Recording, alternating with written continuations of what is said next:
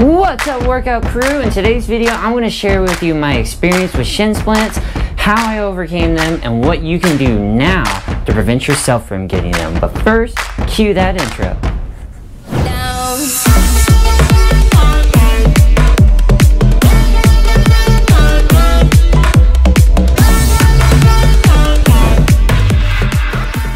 Hey guys, before we get into today's video, I just want to give you a quick update on how my training is going. Uh, remember two weekends ago, I did a 30K race and I said I wanted to try different nutrition. I wanted, I needed, I figured out that I need to do more hills. So I have been doing that. Uh, with Team Row, we've been doing a lot more hill repeats, focusing on that. Uh, this weekend, I have an 18 mile long run and plan is to do it on a trail with lots of hills. So follow me on Strava, link is below so you can see how I do on that run. And then the following weekend, I'm gonna do another 25K race and I wanna see if I've gotten a little bit stronger, if I can push a little bit harder. And then also, instead of Goose, I'm gonna try spring nutrition. Post the thing here. I'm using the Canaberry spring because I am a vegan. I've been vegan for 10 years, so I gotta make sure I have vegan products okay? So I'm using the Canaberry Spring Nutrition, okay? So keep checking back here to see how my training is going and see how that race goes that following weekend. I'll keep you guys updated. All right, let's get into today's shin splint talk. Back in my early years of running when I was training for my first marathon, I had shin splints bad. I'd go out for my weekend long runs and then afterwards I felt like my shins just got hit by a baseball bat. I would immediately go straight in the icing and elevating my legs and I would do that over the next two days a bunch of times. Then I'd go into my week of training praying they would hold up. It would make me so frustrated when I had to take time off to let them heal and I even ran my first marathon with the shin splint pain. It was not comfortable. But after that, I stopped being stubborn, thinking they would heal on their own, and I would event- and I eventually went to a sports therapist chiropractor. I learned how to rehab my injury, learned that I was absorbing impact incorrectly, and better understood my footwear. Eight months later, I was able to finally run a long run with no pain, and I now have ran 300 milers, 400 Ks, and much more, never having that same shin pain. And remember, when we're talking about shin splints, we're talking about the pain you feel in between your shin bone and your calf muscle, anywhere in the this area.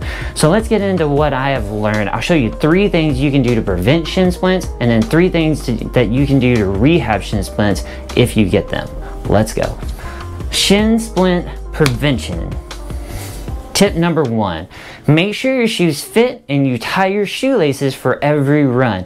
This tip is simple, but is often overlooked. Make sure you're getting shoes that are right for your feet. If you have no clue how to pick the right shoe for, your, for you, then go to your local shoe store and get fitted. Finding the right shoe for you is a process with a lot of trial and error, but a shoe specialist can save you a lot of time and money. Then your shoelaces. As a coach, I hear this more than you would think. Coach, I have shin splints. And I ask, are you tying your shoelaces for every run or workout or just slipping on your shoes and leaving your shoes tied? Then they say, oh, I never tie my shoelaces. Okay, so you need to tie your shoelaces. If your shoes are too loose, your foot will move too much in your shoe, causing your toes to clench the bottom of your shoe, putting pressure on your shins. That pressure repeated step after step on a run will cause pain over time and even knee pain. So tie your shoelaces every time. Tip number two, Make sure you're not adding mileage too fast. Overuse injuries are no joke, and if you're adding mileage too fast, the first signs of that is shin splints, IT band syndrome, lower back pain, and even plantar fasciitis. When you're training for your first race, make sure you follow a running plan, join a running group, or get a coach. They will make sure you are not doing too much too quick. Tip number three, are you absorbing impact correctly? In one of my past videos, how to be an injury-free trainer, which you could check out up here, I talked about the importance of a mid-foot strike to make sure you're absorbing impact correctly. A heavy heel strike will eventually produce shin splints. It is inevitable. Let's cue up that video again to see what I'm talking about. All right, because for this demonstration, I just need you to stand up. And from here, just give me a little jump up and down. Okay, just a couple of seconds. And stop. There, you just experienced absorbing impact correctly. Okay, if you did that for an hour, yeah, your calves might be a little bit sore, but you'd totally be fine. Okay, and then also too, when you're jumping like this, your body has kind of a natural pogo stick. You're landing on that midfoot, your legs are contracting down, and then from your Achilles, your calves, your hamstrings, quads, glutes, core, everything's bringing you back up. just like a pogo stick would. Okay, you're absorbing that impact correctly. You could do this hour, maybe two hours, you would be fine. Now, what I want you to do, same thing, but land on your heels, right? Totally just completely wiped out that pogo stick feel. And if you did this for an hour, you'd probably have sore heels, sore lower back, and then maybe even a headache. You definitely would not be a happy person. So with that, in order to absorb impact while running, Reel it back for just a second. Running and walking are two different things. When you walk, there is always one foot on the ground when the other one steps. So it's okay to heel strike when you walk. But when you're running, it's uh, low intensity jumps. So there's always half a second where your whole body's off the ground. So you're gonna have to land on that midfoot so you can absorb that impact, so you can use that natural pogo stick in your body to help push you forward. So in order to go forward on this, you don't want to lean forward from the waist because that will promote that heel strike. You want to lean forward from the ankle so you can lift the knee, plant the foot so you can absorb that impact. Okay guys, now that we have covered how to prevent shin splints, let's talk about how to rehab shin splints if you have them. I'm gonna give you three tips here. Tip number one is icing. Okay, this is a simple one. We all know we, that we should do it. I recommend to do it at least twice a day until it gets better. I'm not a doctor, but you know, with my experience with shin splints, icing is always a great idea. Cool down the area, okay, and after you ice it for about 15 to 20 minutes, get up and move around. You get that blood flow through the area, flush out those toxins, inflammation. It'll help you heal faster, getting blood to that area. Okay, so icing is a great idea. Get an ice pack or get a Ziploc bag, put ice in it, put a thin cloth over your shin, then put that ice on top of it, prop up your foot onto a chair, hang out there for about 15, 20 minutes, and then go about your day. Okay, um, always do it after your run as well if you do have shin splints. All right, tip number one. Let's go to tip number two. Tip number two is massaging.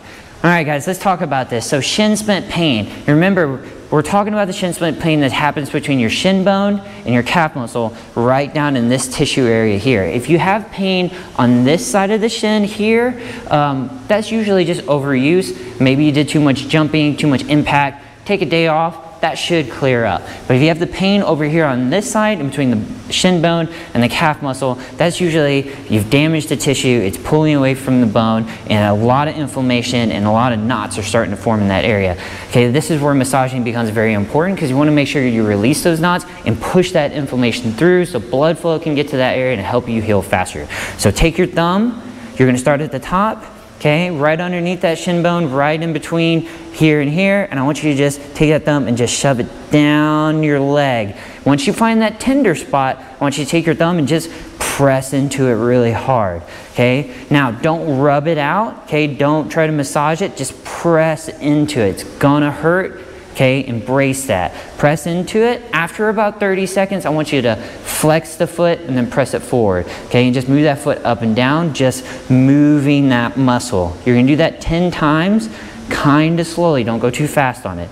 After you do it 10 times, okay, that's all you need to do in that moment, but you need to do it about three to four times every single day until that pain starts to go away. Okay, after you do that massage, doesn't hurt to take your foam roller, put it underneath those calves, and make sure your calves are loose. Hamstrings, quads, okay? Because remember, tight muscles can cause injury during exercise, so you want everything loose. You don't want to be all knotted up, okay? So massaging is very important. If you have a lacrosse ball, that will help you as well, okay? It will help you press into it just a little bit more once you find that spot. You can, instead of your thumb, you can just use that lacrosse ball and press into it just like that. All right, guys, that's your tip number two for massaging.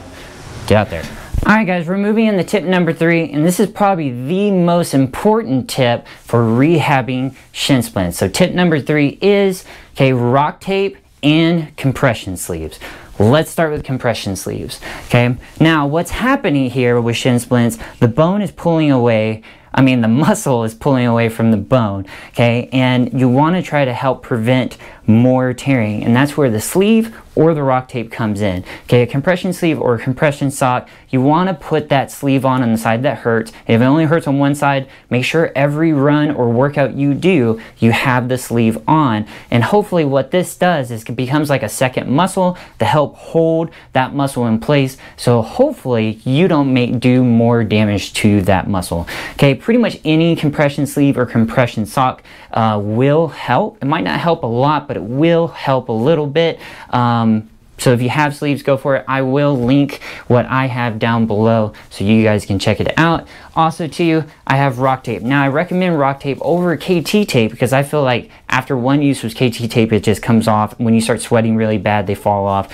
RockTape, you can leave on for about two to three days and it will not fall off. It's like duct tape. Okay, now I do shave my legs whenever I put this stuff on because it hurts really bad when you decide to take it off, uh, but that's up to you. Now, what this is going to do, this is stronger than a compression sleeve and this will work as working as a second muscle to help hold everything in place. And what you're going to do, cut off a piece of RockTape, okay, and you're going to place it here, right in between the bone and the calf muscle. Okay, and once you place it on, can kind of rub it on there and just make sure that it's strong and secure. And then you're going to take a second piece, find the spot where it's tender, and then you're going to put that piece over the top, making an X with, I don't know if you can see it, hopefully you can see it, making an X with the RockTape, okay? And that's gonna really help support that that calf muscle and that muscle so it can heal faster and uh, hopefully not hopefully you won't damage it further when you go out and exercise all right so that's tip number three compression sleeves and RockTape Alright guys, that is our video for today. If you have any questions on the information that I threw at you guys today, please post in the comments down below. Okay, uh, these type of this type of information is what I'm passionate about, and I'm all about helping you guys. If you have any uh, topics you want me to cover to help you guys out a little bit more, also post in the comments down below. Okay, also quick announcement, I have started a Patreon page. Okay, so if you feel like you just need a little bit more help in terms of creating a training plan, uh, workouts for your needs, uh, or just rehabbing an injury, okay, click on the link below, join the Patreon, join the chat community in that, and I can help you guys out. And also too, the people that join the Patreon can also help you out. Guys, thank you so much for being here. Okay, I got to get out there and run. Hope you guys are running and working out. Okay, and I'll see you back here next time. Stay epic and don't forget to be awesome.